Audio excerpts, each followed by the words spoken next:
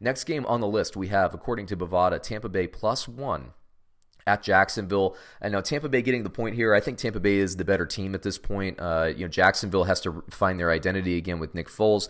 I think both teams will be able to score, but I think Tampa Bay is the better team. The only thing is, like, I have one. Uh, you know, one of my rules in gambling is don't bet on Jameis Winston just don't do it. He's too volatile. He's like plutonium. I, I, I don't want it. I don't want anything to do with him in terms of uh, betting my money on him.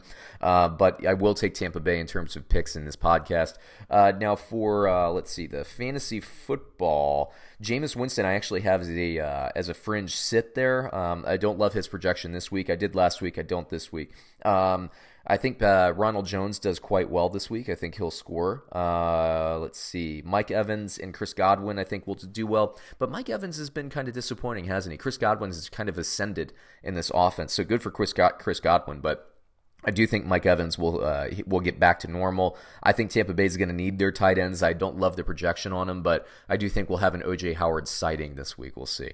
Uh, Jacksonville, I actually like Nick Foles' uh, projection quite a bit, though I did last week as well, and he didn't show up at all. Uh, but I do have Nick Foles as a start. I have Leonard Fournette as a start, a definite start and a touchdown. I think DJ Chark has a really nice game against Tampa, and I think that. Um, uh, Chris Conley, actually, I have projected to have a nice game. So if you're looking for a waiver pickup, he's a nice one for me uh, this week. And if you're looking for a daily fantasy budget play, I think he's a great one as well.